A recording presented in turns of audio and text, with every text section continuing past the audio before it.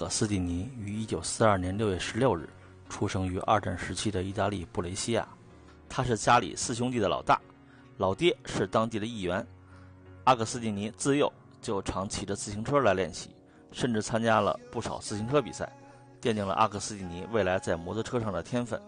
但是由于老爹的极力反对，他从小只能偷偷跑出去参加比赛。他老爹一直用尽各种手段阻止他参赛，最终在一九六三年，老爹还是拗不过儿子，资助他参加了意大利国内比赛。他的亮眼表现吸引了莫里尼车队的老板阿方索·莫里尼注意，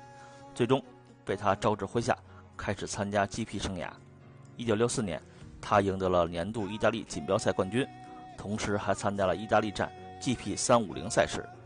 并取得第四名的成绩。这么一颗耀眼的星星被 MV 奥古斯塔车队相中。隔年，阿格斯蒂尼开始为 MV 奥古斯塔车队效力，与麦克海伍德作为队友并肩作战。在一九六五年最后一站日本铃鹿赛道，他眼看就要夺得自己的第一个 350cc 冠军，但意外退赛，将冠军拱手让给本田的雷德曼。一九六六年，海尔伍德的离开使得阿克斯蒂尼成为了 MV 奥古斯塔的头号车手。一九六六年，他在比利时、芬兰和意大利拿下三个分站赛冠军，并拿下五个第二名，最终积三十六分，惊险地拿下世界冠军。一九六七年，阿格斯蒂尼继续效力 MV 奥古斯塔。